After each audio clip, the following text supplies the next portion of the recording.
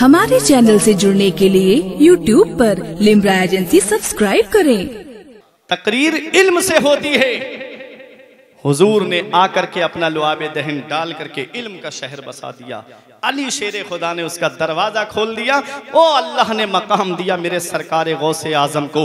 पहले शुरू शुरू में आठ दस लोगों का मजमा, फिर सत्तर सत्तर हज़ार का मजमा होता था आपकी मजलिस में। अल्लाह अकबर, वो हैं सरकार गौस आज़म। चार चार सौ बड़े बड़े जयद आलिम आगे बैठते थे कलम और दवात लेकर के गौस आज़म की तकरीर लिखने के लिए। वो हैं सरकार गौस आज़म। आज मैक का दौर है, हम पीछे आवाज़ नहीं पहुँचा पाते हैं। सरकार गौस आज़म आज़म वो शख्सियत है कि जब आप बास फरमाते थे तो जितनी आवाज़ सामने वाला सुनता था, इतनी ही आवाज़ सबसे पीछे बैठने वाला सुना करता था। वो है सरकार गौसे आज़म। मदरसे में बैठ के पढ़ाया, किताबें लिख के दीन का काम किया, तकरीर के ज़रिए इस्लाम की खिदमत की, मुरीद करके लोगों की दाद रसी फरमाई, उनको अपने पास बुलाया और बुला करके लोगों की मदद की। आला हज़रत फरमाते हैं मजर चिश्त बुखारा हो इराको अजमेर, कौन सी किश्त पे बरसा नहीं झाला तेरा? आज जितने सिलसिले हैं, आज चाहे वो सिलसिला चिश्तिया हो, चाहे सिलसिला सोहरवर्दिया हो, चाहे सिलसिला नक्शबंदिया हो, ये तमाम सलासिल जो हैं ये कौन किससे फैज़ लेते हैं? ये गौसे आज़म से फैज़ लेते हैं। इस सरकार गौसे आज़म से फैज़ लेते हैं। और इन सब का जो हेड क्वार्टर है, वो मौला अली शेर खुदा हैं। तमाम सिलसिले जाकर के मौला अली शेर खुदा पे रुक जाते हैं। किसी भी सिलसिले से आप जाइएगा, अली शेर खुदा तक आप पहुँचेंगे। चिश्ती के ज़रिए जाएँगे, तब भी अली शेर खुदा तक पहुँचेंगे। सिलसिला सोहरवर्दिया के ज़रिए जाएँगे, तब भी आप अली शेर खुदा तक पहुँचेंगे। सिलसिला कादरिया के ज़रिए जाएँगे, तब भी अली शेर खुदा तक पहुँचेंगे। मजरा चिश्त बुखारा हो इराको अजमेर, कौन सी किश्त पे बरसा नहीं झाला तेरा? अब आओ अपने जहन को करीब करिएगा। अब इन्हीं चार सलासिल से दूसरे सलासिल मुतसिल हैं। अपने जहन को करीब करिएगा। आज जिन शख्सियत की मोहब्बत में हम यहाँ बैठे हैं, ये सरकार बांसा कौन है? सरकार बांसा का सिलसिला कौन सा सिलसिला है? अपनी किस्मत पे नाज करो। ये सरकार बांसा का जो सिलसिला है, ये कादरी सिलसिला है। मोहब्बत से बोलो सुबह अल्लाह। कौन सा सिलसिला है सरकार बांसा का? ये कादरी सिलसिला है। सरकार बांसा के पीरो मुर्शिद जानते हो कौन है? सरकार बांसा के पीरो मुर्शिद का नाम हुजूर मीर अब्दुल समद खुदा नुमा है, जिनका मजार शरीफ गुजरात की सरजमीन पर है। और उनके पीरो मुर्शिद हुजूर शाह हिदायतुल्लाह है। अपने जहन को करीब करिएगा। हुजूर मीर अब्दुल समद खुदा नुमा किसी अपने पास में एकदम से किसी को मुरीद नहीं करते थे। अपने पास बुलाते थे। इबादत और रियाजत में उसको लगाते थे। कोई एक साल तक इबादत और रियाजत में लगा रहता। कोई दो साल तक इबादत और रियाजत में लगा रहता। रिवायतों में मिलता है, दस दस साल तक लोग उनके यहाँ पर बैठ करके, वहाँ पर रह करके तजकिया नफ्स किया करते थे। मगर वह मेरे सरकार बासा, तुम्हारी अजमतों का कोई जवाब नहीं है। तुम्हारी शान का कोई जवाब नहीं है। तुम्हारी बुलंदी का कोई जवाब नहीं है। सरकारे, मौला अली शेर खुदा, मीर अब्दुल समद खुदा नुमा के ख्वाब में आते हैं और फरमाते हैं, तुम सैयद अब्दुल रज्जाक बांसवी को मुरीद क्यों नहीं करते? सैयद अब्दुल रज्जाक बांसवी जब जाते हैं अपने पीरो मुर्शिद के पास में, जैसे ही आपना सामना होता है तो मीर अब्दुल समद खुदा नुमा कहते हैं अब्दुल रज्जाक बांसवी, मैं तुम्हारा कब से इंतज़ार कर रहा था? अरे आओ और आकर के जो अमानतें मेरे पास हैं, वो अमानतें अपनी ले लो। ये कौन है मीर अब्दुल समद खुदा नुमा जब कई साल तक लोगों को मुजाहिदे में लगाते थे, जब उनका कल्ब जो है वो साफ़ शफाफ हो जाता था। तब उनको मुरीद करते थे। तब उनको अपने पास बिठा करके मुरीद करते थे। और आपके खुलाफा में जो नाम मिलता है, वो हज़रत सैयद अब्दुल रजाक बासवी का मिलता है। और वो ऐसी शख्सियत है, मीर अब्दुल समद खुदा नुमा जब किसी को मुरीद करते थे और कहते थे कि अब अल्लाह की इबादत करो, फिर जब मुरीद होने के बाद में वो अल्लाह की इबादत करता था तो जब वो सजदे में जाता था तो उसे रब की तजल्लियों का दीदार करा दिया करते थे। जिंदाबाद इसीलिए उनको खुदा नुमा कहा जाता है। दुनिया में अल्लाह रब्बुल इज़्ज़त की जात का दीदार जो है आँखें उसका इतराक नहीं कर सकती रब की तजल्लियों को देखा। रब के जलवों का मुशाहिदा करा देते थे। जैसे इमाम आज़म अबू हनीफा फरमाते हैं मैंने सौ मरतबा अपने रब की तजलियों का मुशाहिदा किया है। मौला अली शेर खुदा से पूछा गया क्या तुमने अपने खुदा को देखा है? कहा अली एक सजदा करने के बाद दूसरा सजदा उस वक्त तक नहीं करता जब तक अपने रब की तजल्ली का दीदार नहीं कर लेता। वाह वाह वाह वाह वाह सुभान अल्लाह सुभान अल्लाह वही है उनकी औलाद। बंदा बनना है जो उनका तो गदा बन इनका, जो फकीरों को शहनशाह बना देते हैं। अल्लाह अल्लाह किए जाने से अल्लाह ना मिले, ये अल्लाह वाले हैं जो अल्लाह से मिला देते हैं। अल्लाह वालों की बारगाह में आओ। हुजूर सैयद शाह अब्दुल रज्जाक बांसवी, उस शख्सियत का नाम है। आप मदरसा नहीं गए। अल्लाह ने आपको उम्मी बनाया था। इल्म दो तरह का होता है। एक होता है इल्म कसबी। मदरसे में जाके उस्ताद के सामने जानू अदब तय करके इल्म हासिल किया जाता है। एक होता है इल्म वहबी इल्म लदुन्नी। अल्लाह तबारक व ताला जो अपने बंदे के दिल में इल्का फरमा देता है। बानिए दरस निज़ामी। हज़रत मुल्ला निज़ामुद्दीन फिरंगी महली लखनऊ। ये दरस निज़ामी का जो निसाब है ना हज़रत हम लोग मदरसे में जो पढ़ाते हैं इस निसाब को जिस शख्सियत ने तरतीब दिया है दरस निज़ामी के जो बानी हैं वो लखनऊ में मुल्ला निज़ामुद्दीन फिरंगी महली है। आज मुल्ला इस्तेजा के तौर पे बोला जाता है हँसी मज़ाक के लिए बोला जा रहा है मुल्ला आ रहा है या मुल्ला जी आ रहे हैं। असल मामला ये है कि मुल्ला उसे कहते हैं कि जो बहुत ज़्यादा इल्म रखता हो। बहुत ज़्यादा काबिल आदमी को मुल्ला कहा जाता था पहले। आज हमने इसको मज़ाक के तौर पे बना दिया। तो मुल्ला निजामुद्दीन फिरंगी महल के एक दोस्त जो है, वो सरकार बांसा के मुरीद हो गए। जब वो मुरीद हुए तो सरकार बांसा के मुरीद होके जब वो अपने यहाँ लखनऊ आए तो मुल्ला निजामुद्दीन फिरंगी महली ने कहा, अरे तुम तो बड़े काबिल थे। इतने काबिल और फिर भी जाकर के तुमने वहाँ पर अपना हाथ दे दिया। कुछ देखा नहीं? अल्लाह अकबर। लेटे तो इन्होंने क्या देखा? कि ख्वाब में सरकार गौसे आज़म हैं और सरकार गरीब नवाज़ हैं। मोहब्बत से बोलो सुबह अल्लाह मैं पूरा मौजू लेके चल रहा हूँ।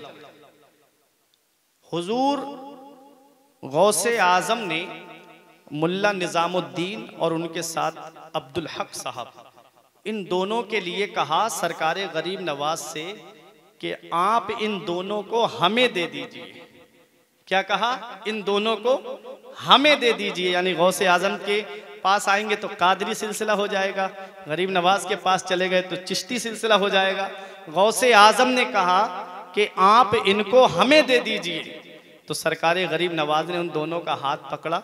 सरकार गौसे आज़म के हाथ में दिया। तो गौसे आज़म ने उनके पीछे जो शख्सियत मौजूद थी गौसे आज़म ने उन दोनों का हाथ उस शख्सियत के हाथ में दे दिया। वो शख्सियत कोई और नहीं थी वो शख्सियत हुजूर सैयद शाह अब्दुल रज्जाक बांसवी की ख्वाब में चेहरा देख लिया हुलिया देख लिया लेकिन तलाश में लगे रहे कि वो शख्सियत मिलेगी कहाँ। बेदार हो गए, वो शख्सियत का दीदार होगा कहाँ? वो शख्सियत कहाँ मिलेगी? एक दिन मदरसे में बहस चल गई कि हुजूर सल्लल्लाहु ताला अलैहि वसल्लम का जिस्म मुबारक ऐसा था कि आपके जिस्म से कपड़ा आर पार हो जाता था। ऐसा कसीफ जिस्म था आपका जिस्म मुबारक कि कपड़ा आर पार हो जाता था तो तलबा ने तालब इल्म तो तालब इल्म होता है। सबसे ज़्यादा कठिन जो है वो मदरसे में बैठ के पढ़ाना है। पता नहीं तालब इल्म कौन सी तैयारी करके आया हो, कौन सी शरा देख के आया हो, कब उस्ताद से कौन सा सवाल कर दे। किताब में है, वो भी कर सकता है, जो नहीं है, वो भी कर सकता है। तो तालब इल्मों ने पूछा, हुजूर, ये बताइए कि ये जो हुजूर सल्लल्लाहु अलैहि वसल्लम का जिसम मुबारक है कि जिसम से कपड़ा आर पार हो जाता है, बात समझ में नहीं आई। तो उन्होंने मेराज वाली मिसाल दी। कि देखो, हुजूर सल्लल्लाहु अलैहि वसल्लम मेराज को तशरीफ़ ले गए तो आसमान पार करके आका तशरीफ़ ले गए कि नहीं ले गए? वक्ती तौर पे लड़के खामोश हो गए, लेकिन दिल सुकून में नहीं था मिसाल से उनकी। एक दिन बैठ करके बहस कर रहे थे नदी के किनारे पे, वही बच्चे सरकार बांसा तशरीफ़ फरमा थे। बच्चों से कहा, क्या बात है? तो बच्चे कहते हैं, तुम्हारी समझ में नहीं आएगी बात, ये ये किलो काल वाली बात है। यहाँ पहुँच के मुझे मौलाना रूम याद आ जाते हैं। मौलाना रूम जब मदरसे में बैठ के पढ़ा रहे थे, हज़रत शम्स तबरेज तशरीफ़ लाए, पूछा, मौलाना ई चीज़, मौलाना, ये क्या है? कहा, बाबा, ये कीलो कालस्त तू नमीदानी। बाबा, ये कीलो काल है, तुम्हारी समझ में नहीं आएगा। फिर पूछ लिया शम्स तबरेज अलैह ने, मौलाना ई चीज़, ये क्या है? कहा, बाबा, कहा ना, ये कीलो कालस्त तू नमीदानी? बैठे रहे। फिर पूछ बैठे, बाबा कि मौलाना ये क्या है? कहा बाबा, कहा ना ये कीलो काल है, तुम्हारी समझ में नहीं आएगा। जलाल में आए, किताबें उठाई और उठा करके लेकर के गए और हौज के अंदर सारी किताबें डाल दी। उस वक्त किताबें जो छपती थी, वो प्रेस से तो निकलती नहीं थी, हाथों से छापी जाती थी, हाथों से। लिखी जाती थी, अल्लाह हो गया कितना वक्त लगता था किताबें लिखने में। मौलाना सर पकड़ के बैठ गए, बाबा, तुमने मेरी मेहनत पे पानी फेर दिया। ये किताबें इतनी किताबें, ऐसी किताबें कि मैं कहाँ से इनको तलाश करूँगा, कहाँ ढूंढूँगा, एक ही नुस्खे थे मेरे पास में। ये तुमने क्या कर दिया? बाबा बोले, मौलाना, परेशान क्यों होते हो? तुम्हें किताबें चाहिए ना? कहा हाँ मुझे किताबें चाहिए, बस परेशान क्यों होते हो? हाउस के अंदर हाथ डाला, किताबें निकाल के मौलाना रूम के हाथ में दे दी। किताबों से पानी नहीं, बल्कि गर्द झड़ रही थी। अब मौलाना कहते हैं, बाबा, ई चीज़ कहा, मौलाना, ई हालस्त तू नमीदानी। मौलाना, ये हाल है, इसे तुम नहीं जानोगे। मौलाना रूम पुकार के कहते हैं, मौलवी हरगिज ना शुद्ध मौलाए रूम। ता गुलामे शम्स तब तबरेजी ना शुद्ध। मौलाना रूम, तब तक मौलाना रूम नहीं बने थे। तब तक तब शम्स तबरेज की गुलामी को इख्तियार नहीं किया। पता चला मौलाना बनने के बाद में किसी अल्लाह वाले के दामन को पकड़ना पड़ता है। आलिम बनने के बाद में किसी अल्लाह वाले के दामन को पकड़ोगे तभी तुमको वो फैज मिलेगा। वो फैज जो बुज़ुर्गों से चला आ रहा है अगर वो फैज चाहिए तो किसी अल्लाह वाले के दामन को पकड़ना पड़ेगा। बच्चे बोले बाबा ये किलो काल की बात है तुम नहीं जानोगे कहा करके दिखा दू मान जाओगे? बोले हाँ हम मान जाएँगे। फरमाया ठीक है। एक रुमाल आपके पास रुमाल था कपड़ा था। कहा मेरी कमर में बांधो। जब बच्चों ने कमर में बांधा एक सिरा एक बच्चे के हाथ में दिया दूसरा सिरा दूसरे बच्चे के हाथ में दिया। फरमाया खींचो। जब बच्चों ने खींचा तो आपकी कमर से आर पार वो कपड़ा हो गया। इसीलिए आपको महबूब बेकमर कहा जाता है। ऐसे महबूब जिनकी कमर ही नहीं जिंदाबाद। सरकारे बासा। वाह वाह वाह वाह। महबूब बेकमर है। सुबहान अल्लाह सर, सरकार मसौली के जानशीन तशरीफ़ फरमा है यहाँ। वारिस पाक जब देवा शरीफ आए तो उनके सामने किसी ने ये एतराज़ कर दिया कि हुजूर सैयद शाह अब्दुल रज्जाक बांसवी को महबूब बेकमर कहा जाता है। ये बात समझ में नहीं आती? सैयद शाह अब्दुल रज़ाक बांसवी वो शख्सियत है जो देवा की तरफ़ रुख करके लंबी लंबी सांस लेके मुरीदों से फरमाते थे जहाँ एक अल्लाह का वली आएगा। यहाँ एक अल्लाह का वली आएगा। उनकी पैदाइश से पहले ही खबर दे दी थी सरकार बांसा ने। अल्लाह अकबर, वो है सरकार बांसा। जब वारिस पाक से पूछा गया, हुजूर, ये बताइएगा, सैयद शाह अब्दुल रज्जाक बांसवी को महबूब बे कमर कहा जाता है? क्या वो महबूब बे कमर है? फरमाया बेशक है। आपके पास छड़ी थी, आपके पास रुमाल था। कहा, हुजूर हमारी समझ में बात नहीं आती। फरमाया, करीब आओ, आपने छड़ी में उस रुमाल को बांधा, एक सिरा एक के हाथ में दिया, दूसरा एक सिरा दूसरे के हाथ में दिया। फरमाया, इसे खींचो। जब उन्होंने खींचा तो छड़ी से रुमाल आर पार हो गया, लकड़ी से रुमाल आर पार हो गया। वो बोले, हुजूर, एक बार हम अपने हाथों से करके देख ले। फरमाया, लो, करके देख लो। अपने हाथों से कपड़ा बांधा और एक सिरा एक मुरीद ने खींचा, दूसरा एक मुरीद ने खींचा। जैसे ही खींचा तो वो कपड़ा, रुमाल, वो उस लकड़ी से आर पार हो जाता है। मुरीद कदमों पे गिर के कहते हैं अरे जब देवा के वारिस पाक की शान का ये आलम है तो सैयद शाह अब्दुल रज्जाक बासवी की शान का आलम क्या होगा? जब उनके गदा भर देते हैं शाहान जमाना की झोली मोहताज का जब ये आलम है मुख्तार का आलम क्या होगा? वाह वाह।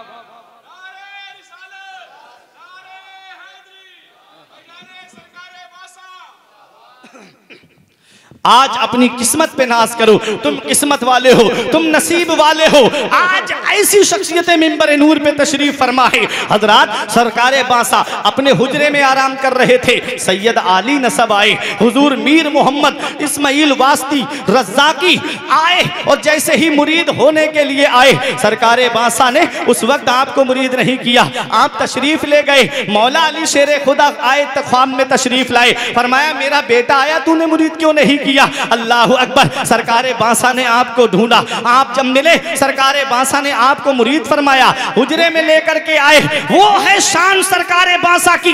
मदरसा नहीं गए, लेकिन वो अल्लाह ने कमाल अता फरमाया कि जब मुल्ला निजामुद्दीन फिरंगी महली लखनऊ से चलते थे तो कुरान की आयत पढ़ करके ये बता देते थे कि अब मुल्ला निजामुद्दीन आ रहे हैं। और जब सरकार मसौली तशरीफ़ लाते थे तो कुरान की आयत पढ़ते इन लजीना आमनु व आमिलु रहमानु वुद्दा आयत पढ़ के बता देते थे कि सैयद अली नसब आ रहा है मोहम्मद इस्माइल आ रहे हैं। वाह वाह वाह वाह वो है सरकार वो है सरकार बासा अपनी किस्मत पे नाज करो।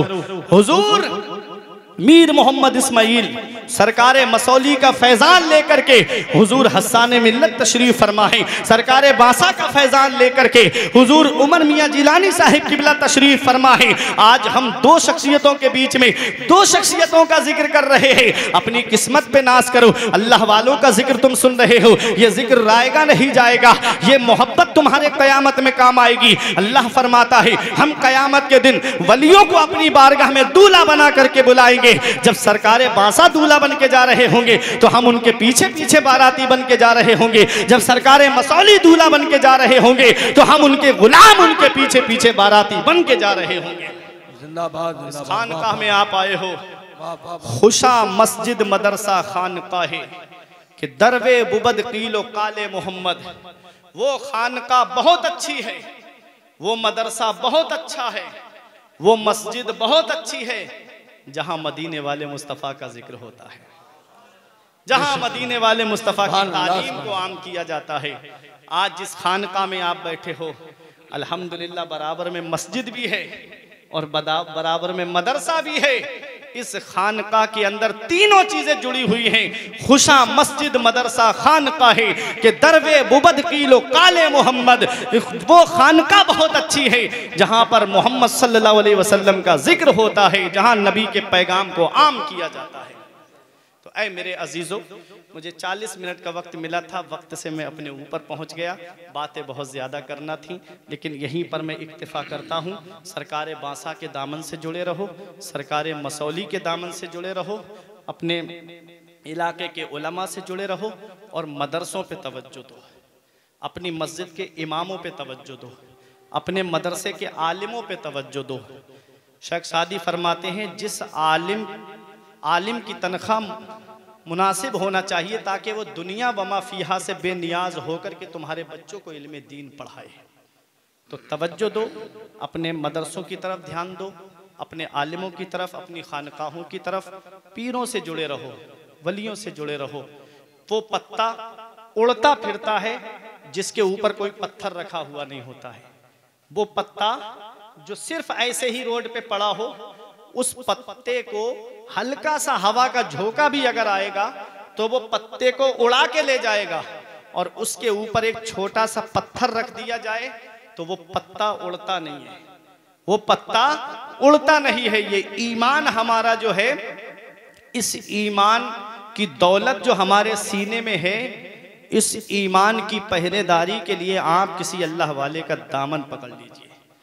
आला हज़रत फरमाते हैं, दिल अबस खौफ से पत्ता सा उड़ा जाता है। पल्ला हल्का सही भारी है भरोसा तेरा। पल्ला हल्का ही सही भारी है भरोसा तेरा। पल्ला हल्का सही भारी है भरोसा तेरा। शुक्र के जोश में जो है वो तुझे क्या जाने? है गौसे आज़म, खिजर के होश से पूछे कोई रुतबा तेरा। आदमी अपने ही अहवाल पे करता है कयास नशे वालों ने यहाँ भला शुक्र निकाला तेरा। फिर फरमाते हैं तुझसे और दहर के अक्ताब से निस्बत कैसी?